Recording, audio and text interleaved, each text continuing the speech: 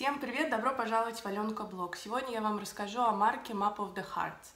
Heart. Я покажу вам мой аромат и покажу, познакомлю вас со всеми ароматами линейки. У меня есть пробники. Мне безумно приятно, что эта марка из Сиднея, что я могу вот прям пойти и понюхать, и получить пробники. Это, конечно, здорово, когда такая редкая, интересная марка появилась именно вот в Сиднее. Потому что это ну, это волшебство для меня. И давайте начнем. Марка была основана в 93 году. А, у меня здесь пресс-релиз, я вам сейчас ее прочитаю.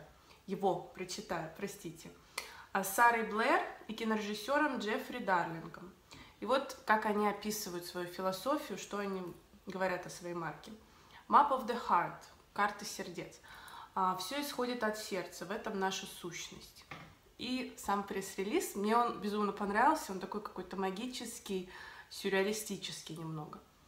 Итак, а, Сара пьет слова на завтрак, ей нравится заниматься ерундой, любит роскошь, а, любит простые и роскошные вещи, смешанные воедино, любит роскошь, ощущение того, когда находишься под водой, окруженной жидкостью. Ей нравится идея дайвинга в расплавленной лаве из-за ее тепла и вязкости – но она знает, что эта идея приводит к завершению жизни.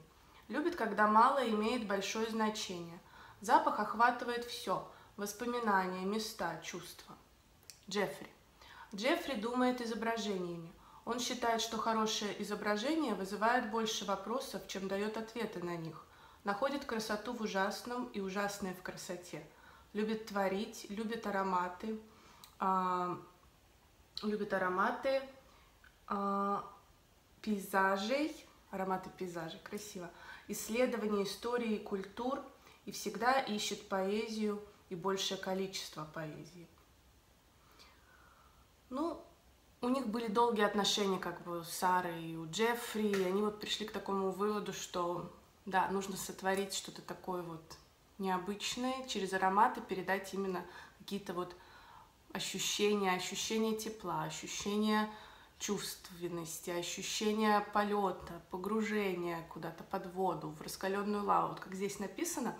Вот когда я прочитала этот пресс-релиз, мне было намного проще обонять эти ароматы, потому что когда ты просто вот их нюхаешь, они кажутся немного странными, даже не немного, а очень странными, и когда ты знаешь уже концепцию, какое сердце что как бы собой олицетворяет, это, конечно, очень здорово.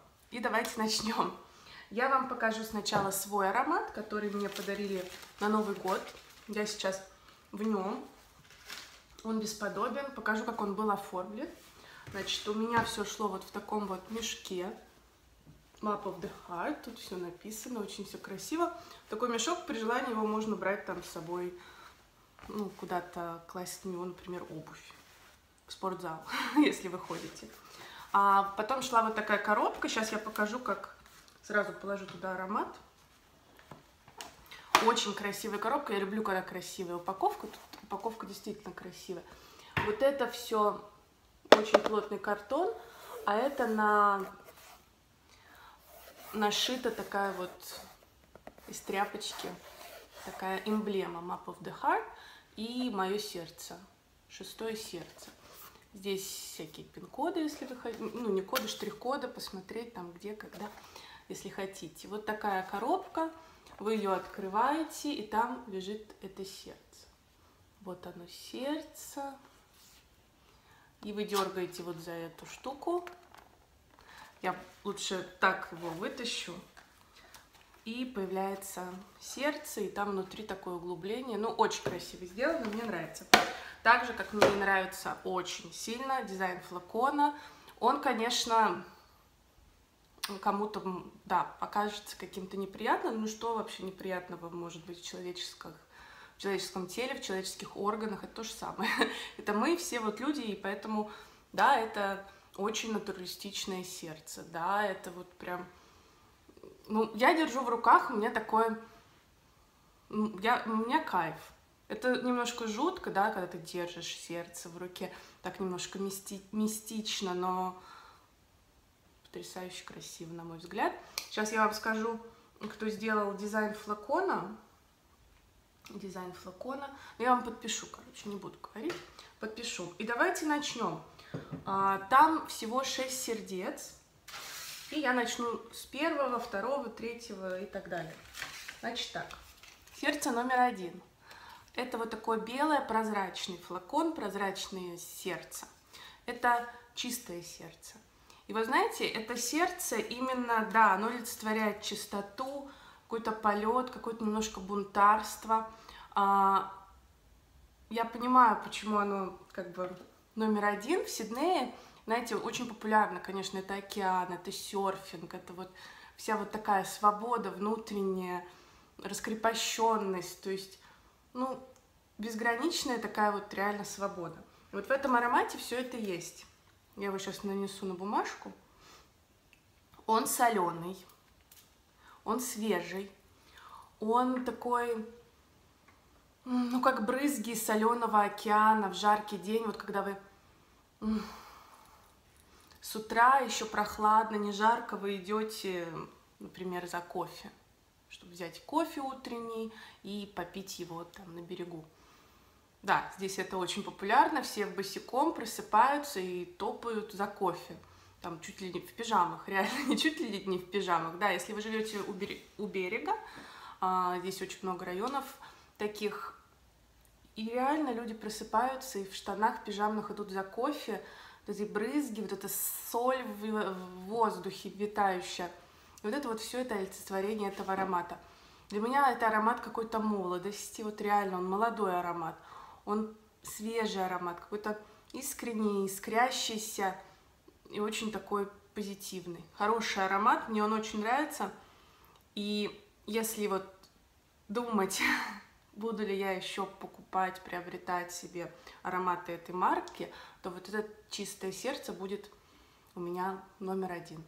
Ну и само название «Чистое сердце» — это вот как бы чисто сердечное признание. Вот когда ты вот от души а, без, без всякого там, не знаю, без обмана, в общем, что говорится. Это вот об этом. Аромат вот настолько чистый, такой добрый.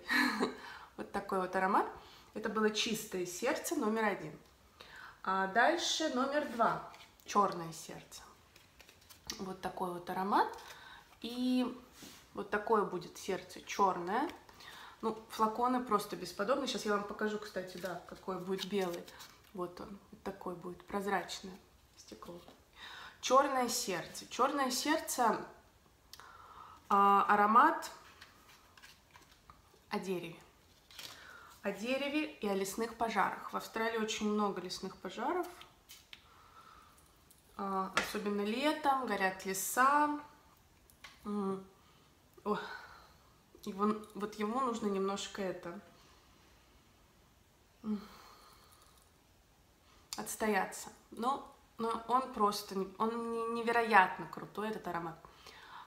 Аромат пожаров. Аромат, вот знаете, вот после пожара э, появляется потом что-то новое, что-то свежее, свежие ростки, свежие деревья, новая жизнь, короче, зарождается. И вот здесь смешение вот этой гари, горящ, горящего дерева, пепла, дыма и чего-то такого вот уникального сквозь это проходящий какой-то свежий ветерок. Вот реально как порыв ветра такого свежайшего, чистого. Аромат бесподобен. Я его пробовала наносить ну, на кожу, я все их пробовала на коже. Они все прекрасны, какие-то у меня, я потом скажу, ну, не очень понравились. Вот чистое сердце, черное сердце очень, очень они мне понравились.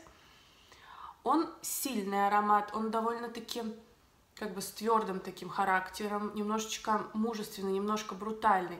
Но мне кажется, если какая-то хрупкая девушка, ну вот как я в таком вот розовом платье вот наденет этот аромат, он будет, ну, он будет вам стержнем. Если вам не хватает внутреннего стержня, вот этот аромат будет вашим внутренним стержнем, он безумно хорош. Он хорош, притягателен. Когда я его наносила, мне постоянно хотелось обонять его, постоянно хотелось его нюхать, нюхать, нюхать, как оно вообще, раскрытие его, понимать.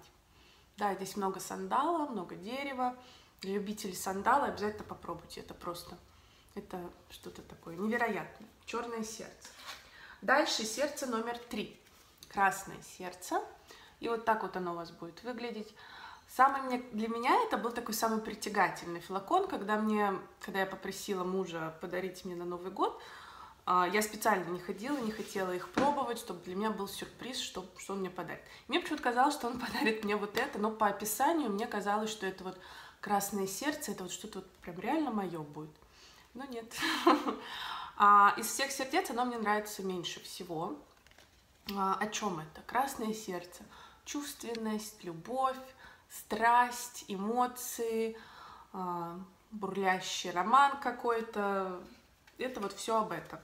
Здесь много фруктов, здесь много таких цветов, но все это немножечко такое химическое, что неплохо. Но на мне, что неплохо, но на мне это совсем не играет так, как нужно, видимо. Сейчас я вам ну, он немножечко, знаете, такой с перчинкой. Если бы это не было бы этой перчинки, наверное, он был бы вообще такой простой. Он на любителя. Знаете, мне кажется, у этого аромата найдется очень много обожателей, много любителей, потому что он, ну, он реально женственный, он понятный. Из всех вот сердец, вот если вы, когда с ними знакомитесь, вот, вот он вот понятен сразу. Сразу ты чувствуешь вихрь каких-то цветов, фруктов, немножко розового перца, немножко, может быть, я не знаю, мускуса. Ну, для меня вот таких ароматов уже много у других марок, поэтому для меня вот именно этот аромат прошел как-то немножко мимо. Красное сердце, к сожалению, не мое. Дальше описа я хочу вам рассказать о номере 4. Это золотое сердце и оно просто меня потрясло. Вот так выглядит флакон. Если я... Ну, слушайте, наверное, мне все они нравятся, кроме красного. Я бы его тоже побежала бы и купила бы, но зимой. Сейчас я вам расскажу. Золотое сердце. Оно именно вот олицетворяет золотое сердце. Вот что значит золотое сердце? Доброе, а, хороший человек с золотым сердцем, такой добрый, любящий людей, любящий жизнь, помогать всем пытается и любит, и у него это получается. В общем, золотое сердце это все о доброте, все о какой-то вот материнство, вот все вот такое вот очень хорошее. И о чем это золотое сердце? Когда я его только-только понюхала первый раз, мне показалось, что это что-то такое кошмарное. Почему? потому что я не ожидала такого, честно. У меня так было с одним ароматом Жо де По от Серж Лютен. Когда я первый раз его нанесла на себя, я побежала его сразу смывать. Так же получилось и с этим. Жо де сейчас один из самых моих любимых ароматов. Игры кожи просто, ну, они меня ну, умиротворяют, придают, ну, ути не утепляют. Ну, в общем, хороший аромат, люблю его. Почему с этим у меня случилось такое отторжение. Потому что там, как и в Жодепо, есть какая-то вот эта молочная нота, чуть ли не на грани. И здесь эта нота сочетается реально с, металлом. Значит, что они хотели в этом аромате показать? Они хотели показать именно тепло, тепло сердца, также вот ощущение холодного металла, вот такого золота расплавленного, холодного немножко. И вот это тепло они делали с помощью шафрана, каких-то специй, каких-то вот таких вот уютных, греющих компонентов. Потом этот идет какой-то металлический, металлическая нота, и вот я слышу молочную ноту. Вот реально все это дело залито молоком. И первый вот, первый мой, ну, как бы проба, он мне показался просто каким-то прям фу, ужасным. Как это можно вообще сделать, как это можно носить? я побежала быстрее это все дело смывать. Но потом я думаю, ну нет, ну не может быть вот так вот прям все ужасно. Я попробовала еще раз и прозрела, как говорится. Но он прекрасен. Он прекрасен, знаете, прохладный, может быть, даже очень холодный день, и вы в этом аромате ну, в нем все, в нем и душа, в нем теплота, в нем какая-то, вот знаете, умиротворение и уют, в нем, ну, я не знаю, снежок за окном, а вы там сидите с чашкой горячего какао. Но все это, вот, знаете, не настолько мимими, вот такой вот хорошенький такой аромат. Нет, он очень необычный, и он очень какой-то вот, ну, нереально крутой, правда. Правда, попробуйте «Золотое сердце», вот прям вот чуть ли не фаворит. «Золотое сердце». Дальше. Дальше сердце номер пять, пурпурное сердце. И пурпурное сердце – это сердце воина, сердце войны, сердце храбрости, сердце подвига. Вот, вот реально такое героическое, яркое, смелое сердце, пурпурное. Все флаконы одинаковые, все в объеме, по-моему, 80 миллилитров они идут. Все вот у вас будет вот, все одинаковые, только разноцветные. Пурпурное сердце вообще. Я вот знаю уже, кому оно, да, действительно может понравиться. Здесь уже по, по его цвету. Ой, обалденная. Это слива, это такой засушенный такой чернослив в сиропе в каком-то сладком. В то же время это какой-то дым, это какая-то, знаете, перестрелка, стрельба, порох немножко такой вот витающий в воздухе. Аромат мягкий и в то же время яркий, жесткий, такой дерзкий, такой вот насыщенный, такой вот пьющий прям на отмаш, знаете? И дико необычный. Он дико необычный. Он пахнет немножко такой жженой резиной. Он пахнет вот при всем при этом такой сладкой сливой. Такой прям вот уже чуть ли не перезрелый. Вот эта сладость и вот это вот горение.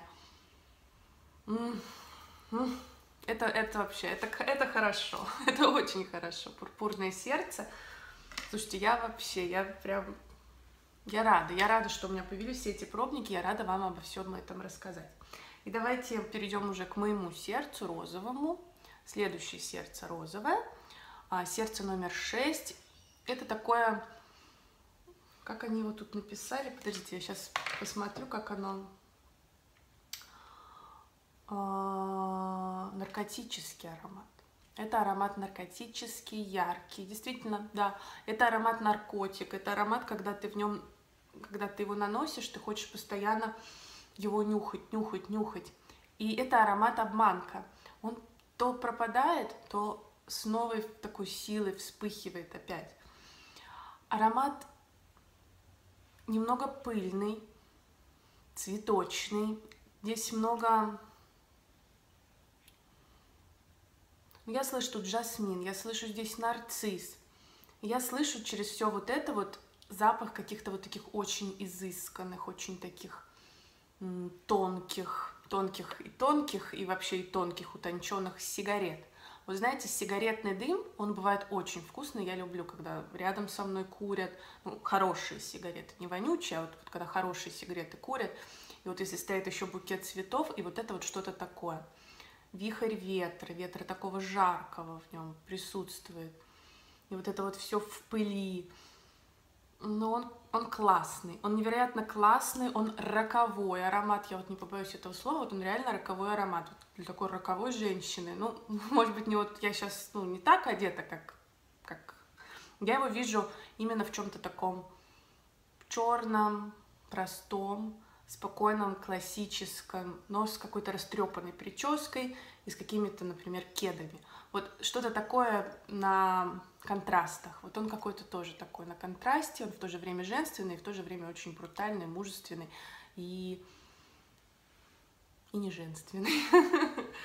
Ну, как-то так. Map of the Heart. А, очень интересная марка. Я желаю вам всем с ней познакомиться может быть, где-то от Леванты заказать, если есть у вас желание, конечно.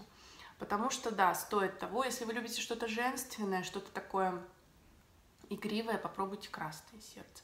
Если вы любите сандал, а, ноты дерева, ноты костра, попробуйте черное сердце. Если вы любите гурманнику, но в таком а, немножко дымном каком-то исполнении, странном, попробуйте пурпурное сердце и попробуйте мое розовое сердце.